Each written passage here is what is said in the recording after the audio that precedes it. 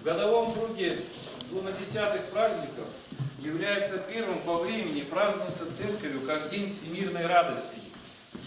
В этот светлый день на рубеже Ветхого и Нового Заветов родилась Преблагословенная Дева Мария, которая была от века предназначена божественным промыслом послужить тайне воплощения Бога Слова, явиться Матери Спасителя мира, Господа нашего Иисуса Христа.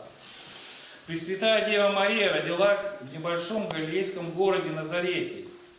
Родители ее были праведные Яким и Анна. Яким происходил из рода пророка и царя Давида, Анна из рода первосвященника Аарона. Святые супруги оставались бездетными, так как святая Анна была неплодна. Глубоко страдая от своего бесчадия, они в течение многих лет молились о том, чтобы Бог даровал им дитя. Достигнув старческих лет, они все же не теряли надежды на милость Божию, твердо веря, что Богу все возможно. Что Он и старости может разрешить неплодие Анны, как некогда Он разрешил неплодие Сары, супруги патриарха Авраама. Святые Аким и Анна дали обет посвятить Богу на служение в храме дитя, которое им пошлет Господь.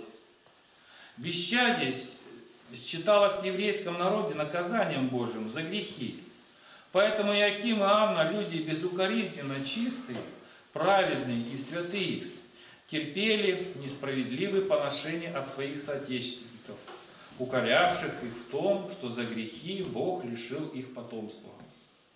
В одном из праздников старец Иаким принес в Иерусалимский храм свою жертву в дар Богу. Однако первосвященник Исахар не принял ее, назвав Иакима недостойным, вменяя ему вину его бесчадия. Святой Иаким в глубоком горе ушел в пустыню, и там со слезами молился Господу о том, чтобы ему было даровано дитя. Святая Анна, узнав о происшедшем в Иерусалимском храме, горько плакала, но не роптала на Господа, а молилась, призывая на своего мужа и на себя милосердие Божие. Господь, всегда слышавший их молитвы, исполнил их. Однако не сразу, а тогда, когда святые супруги, достигнув преклонного возраста, приготовили себя, себя добродетельной жизнью, постоянством в молитве и твердой надеждой на Бога высокому званию быть родителем Пресвятой Девы Марии. Про отцами по плоти Мессии, Господа нашего Иисуса Христа. Посланный к Иакиму и Иоанне Богом Архангел Гавриил принес им радостную весть, что молитвы их услышаны, и у них родится преблагословенная дочь Мария, через которую будет даровано спасение всему миру обрадованные супруги встретились в Иерусалимском храме, возблагодарили Господа и вернулись домой.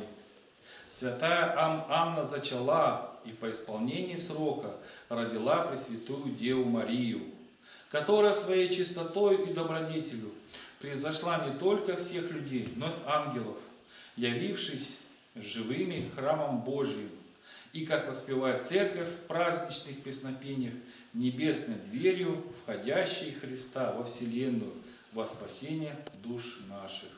Богу нашему слава, во веки веков. Аминь.